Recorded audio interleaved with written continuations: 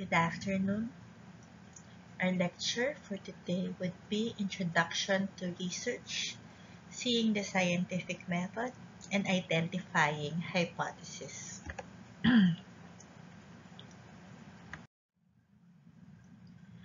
fundamental concepts of this lecture are outlined here. We will begin by discussing the distinction between two types of epidemiology descriptive epidemiology, and analytical epidemiology. The second half of the class will focus to a large extent on the concept of analytical epidemiology. This lecture begins by highlights what analytical epidemiology is and how it is distinguished from descriptive epidemiology. A fundamental concept in analytical epidemiology is the exposure and disease model. This model will be re-emphasized here.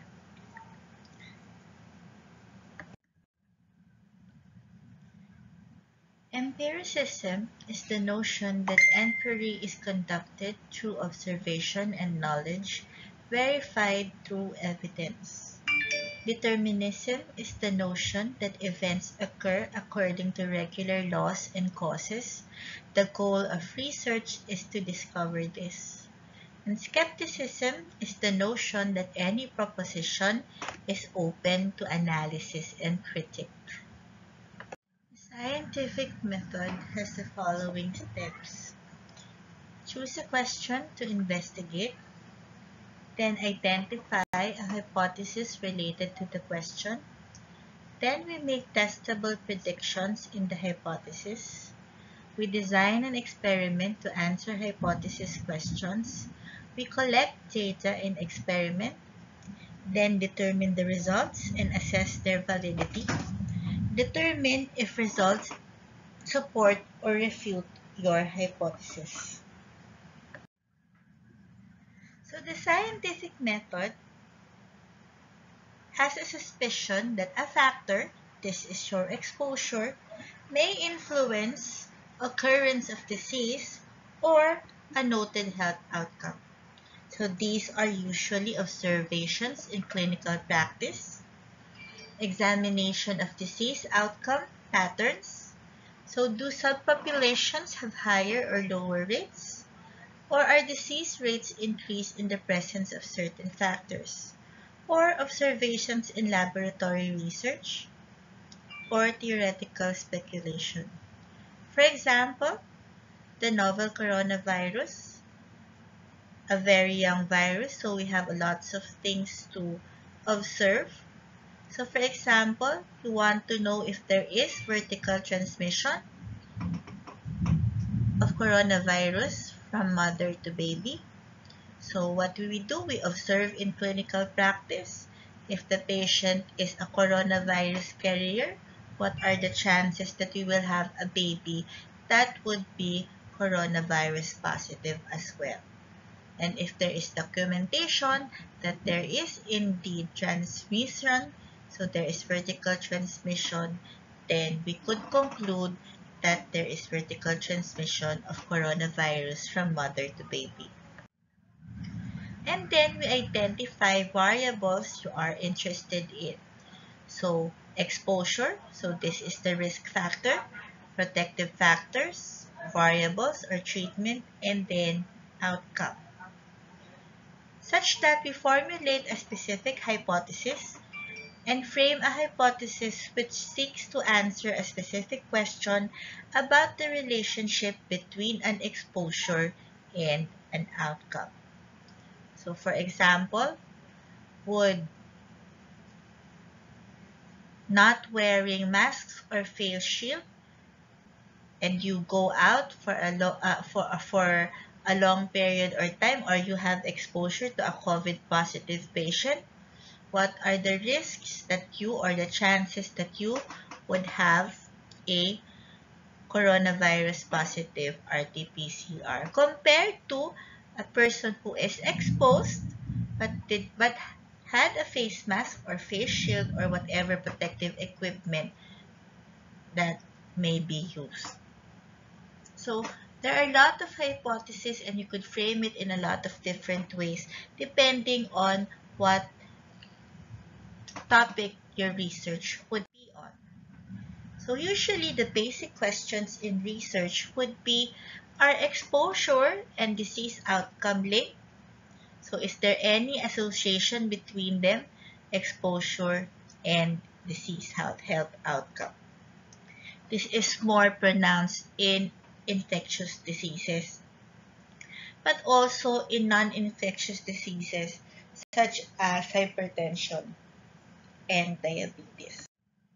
So the next step is to design a study. So there are a lot of study designs. We will review them in a later lecture. So usually it's a case series, cross-sectional, case control, cohort, and randomized control clinical trials.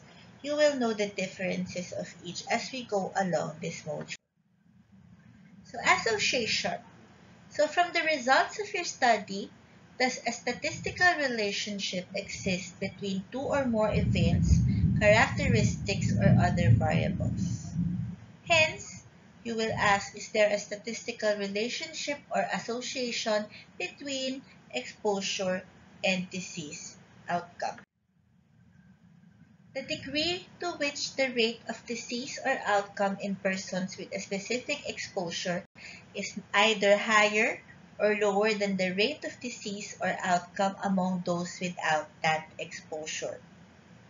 That is statistical association. The scientific method assesses validity of association so does the observed association really exist? Is it valid? Or are there alternative explanations for the association, such as chance, bias, and confounding, which we would learn also in later lectures of this module.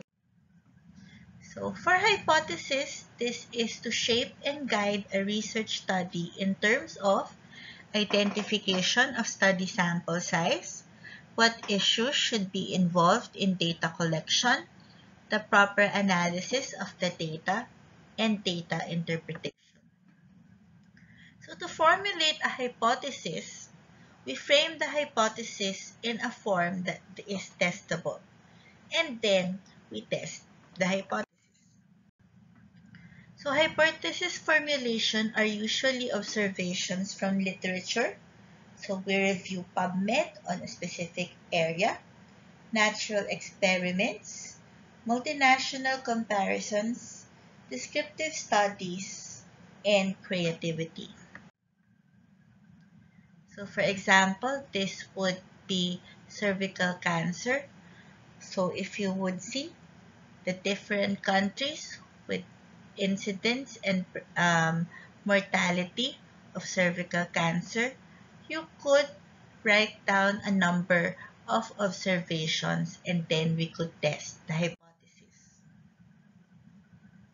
So infectious and chronic diseases show great variation from one country to another.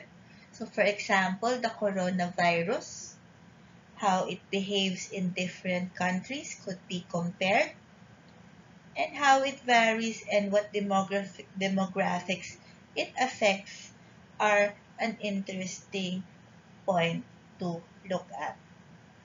So some differences may be attributed to different factors such as climate, cultural factors, diet, and genetics.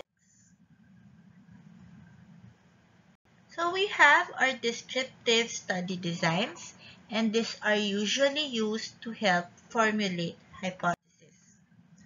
So we have our case series approach. This identifies the experience of a group of patients with a similar diagnosis or identify the experience of a group of individuals with an exposure in common. So for example, we could look at a case series of individuals affected by coronavirus. So these patients or individuals may be identified from a single or multiple source. There is also a population survey approach. This describes issues related to disease or exposure in populations. They usually rely upon routinely collected data from established surveillance or notifiable disease systems. So there is a unique component. They usually identify the characteristics of an issue from a representative sample of the population. So there are three essential characteristics that we look to measure in descriptive studies, and these are person, place, and time. So there are person factors such as age, gender, race, ethnicity, genetic predisposition, comorbidities, diet, exercise, and smoking, the risk-taking behavior of the individual, education, occupation, and socioeconomic status. So for place, since disease does not occur at random, where is the disease especially common or rare? And what is different about those places? So geography would be affected by residence, occupation, climate, geology, population density, economic development, nutritional practices, and medical practices.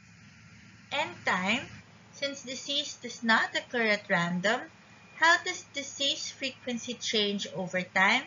And what other factors are temporarily associated with these changes? So we, we are sincerely hoping that over time, herd immunity will set in and new cases of coronavirus would decrease, etc.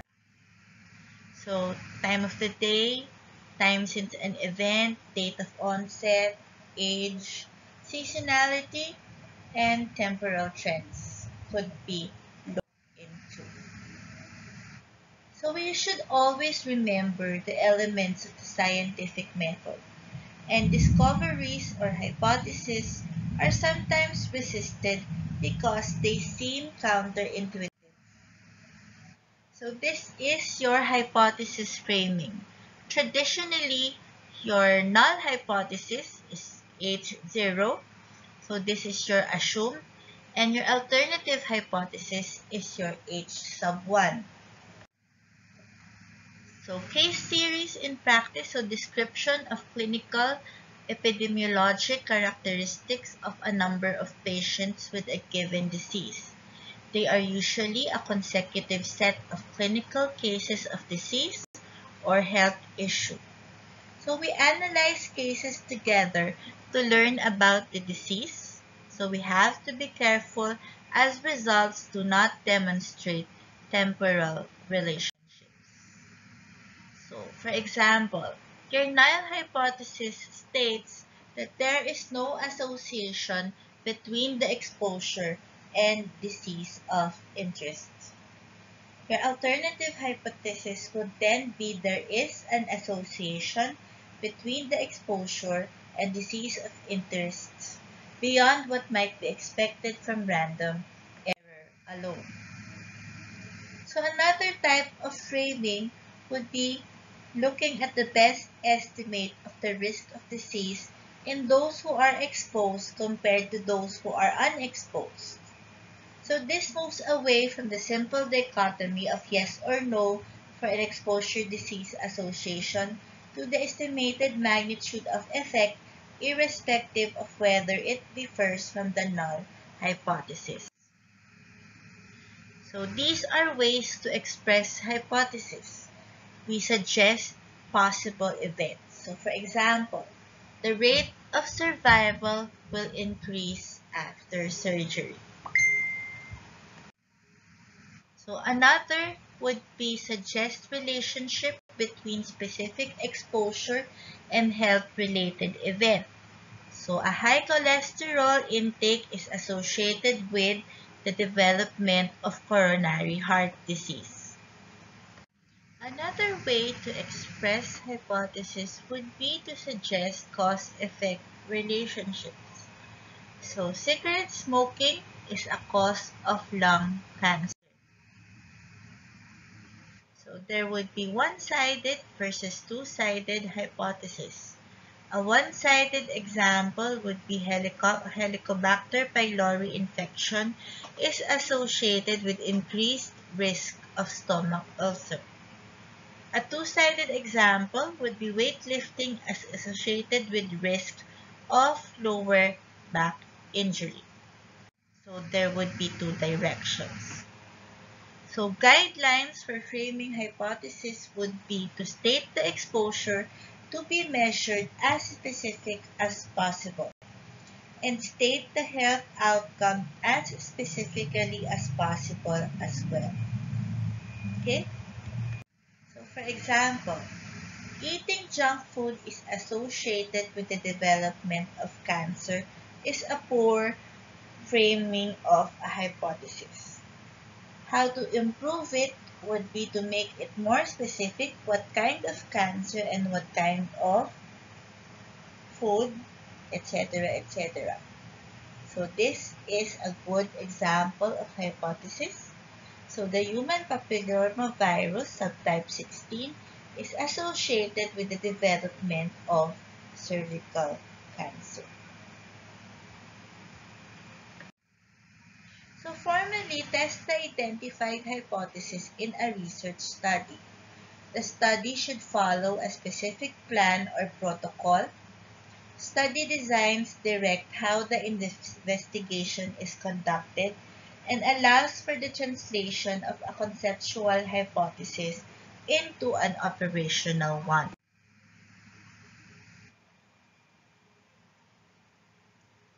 So usually when it's it is proved, it's disappointing.